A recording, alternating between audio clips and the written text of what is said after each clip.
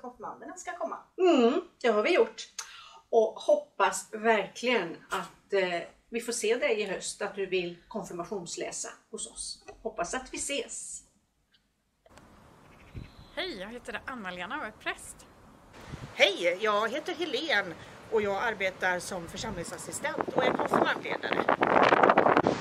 Hej, jag heter Petra och jag är ungdomsledare.